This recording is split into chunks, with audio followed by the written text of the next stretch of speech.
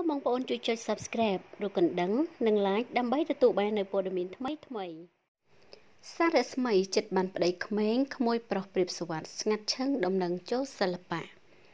ចំណងស្នេហ៍ខុសចំនួនរវាងអតីតភរិយាសំណប់អោបជាប់ទ្រង់កីឡាករប្រដាល់ជាស្រួច នាងសារស្មីនិងប្រុសក្មេងក្មួយប្រុសរបស់ព្រៀបសវត្តគឺឆៃដាពិសិដ្ឋត្រូវបានក្រុមគ្រួសារទាំងសងខាងដឹងឮរួចរាល់ខណៈអ្នកទាំងពីរក៏មានឈ្មោះជាគូដណ្ដឹងនឹងគ្នាទៅហើយប៉ុន្តែដំណឹងរៀបការនៅមិនទាន់បង្ហើបនៅឡើយ។ ខណៈពេលវេលាដឹកដៃអនាគតប្តីក្មេងចូលក្រាបផ្ទឹមមិនទាន់ប្រកាសមហាជន ពិសេសអ្នកគ្រប់គ្រងក៏តែងរងចាំដំណឹងល្អនៃការវិលចូលសិល្បៈរបស់តារាស្រីសារស្មី តែហាក់កាន់តែឆ្ងាយហើយស្របពេលនាងត្រូវគេឃើញកំពុងមមាញឹកខ្លាំងលើចំនួនហើយឆៃដាពិសិដ្ឋនៅតែដើរលើវិថីសិល្បៈជាអ្នករាំដ៏មានទេពកោសលផងដែរ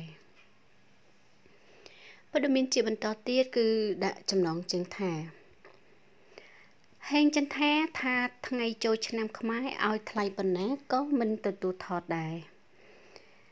កញ្ញាហេងចន្ទថាតារាសម្ដែងជាប់ងារអតីត Miss Grand Cambodia ឆ្នាំ2016ហាក់មានកោតក្រនបានៅលើវិថីការងារសិល្បៈពិសេសពេលភ្ជាប់ខ្លួនស្និទ្ធទៅនឹងតារាផលិតករនៅ CTN និងបានលេចមុខច្រើនគូសំក្នុងឈុតកំ pl ែងខ្លីៗក្រោមការដឹកនាំរបស់តាវិទ័រ ខណៈថ្មីថ្មីនេះនាងបានអះអាងថាមិនសង្វាតលុយដល់ថ្នាក់ភ្លេចគ្រួសារនោះទេនាងថាមិនទទួលការងារសិល្បៈចំថ្ងៃបុណ្យចូលឆ្នាំប្រពៃណីខ្មែរនោះដែរដោយហេតុផលថាចង់ចំណាយពេលវេលាជួបជុំគ្រួសារសាច់ញាតិបងប្អូន ក្នុងឱកាសបុណ្យចូលឆ្នាំព្រោះថាមួយឆ្នាំមានតែម្ដងទោះយ៉ាងណាក្តីតារាស្រីរូបនេះមិនភ្លេចផ្ដាំផ្ញើនៅសារជូនពរដល់ទស្សនិកជន ក្នុងឱកាសចូលឆ្នាំថ្មីនោះទេ ដែលនាងបានជូនពរដល់ទស្សនិកជនគ្រប់រូបពិសេសគឺបងប្អូនខ្មែរទាំងអស់ទទួលបានសុខភាពល្អនិងរាល់ការធ្វើដំណើរទៅណាមកណាប្រកបដោយសុខសុវត្ថិភាពផងដែរ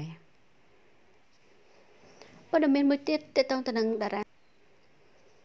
ព័ត៌មានមួយទៀតនេះគឺដាក់ចំណងជើងថាស្ងាត់ស្ងាត់ទូចស្រីលក្ខដាក់ប៉ុន្មានម៉ាត់អត្ថន័យចាក់ដោតតារាសម្ដែងអ្នកនាងទូចស្រីលក្ខថា នេះត្រៀមសម្រាប់បងប្អូនក្នុងឱកាសបុណ្យចូលឆ្នាំខ្មែររបស់ជាតិយើងខាងមុខនេះគឺជាការខំប្រឹងទាំងកាយទាំងចិត្តដើម្បីតែសិល្បៈខ្មែររបស់យើង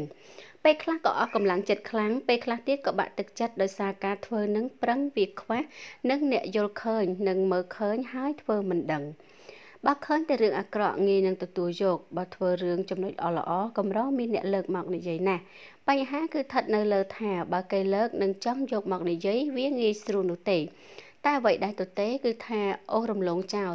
តែបញ្ហាថាជេររយគ្នាវិញគឺថាម្នាក់ម្នាក់មួយចំនួនលើកមកវិភាគ like share សឹងតែគ្រប់គ្នាឲ្យសិល្បៈខ្មែររបស់ខ្ញុំអើយតើថ្ងៃណានឹងមានការបែងចែកឲ្យដាច់ពីគ្នានេះជាភាពរងាឯការបស់អ្នកសិល្បៈដូចជារូបខ្ញុំពួកសំងំប្រឹងធ្វើទៀតបេះដូងសិល្បៈរបស់ខ្ញុំអើយចា៎ ចឹងបន្ទាប់ពី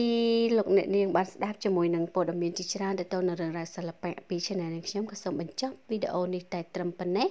អរគុណចំពោះការតាមដានស្ដាប់និងទស្សនារបស់អស់លោកអ្នកនាងជួបគ្នានៅវីដេអូក្រោយៗទៀត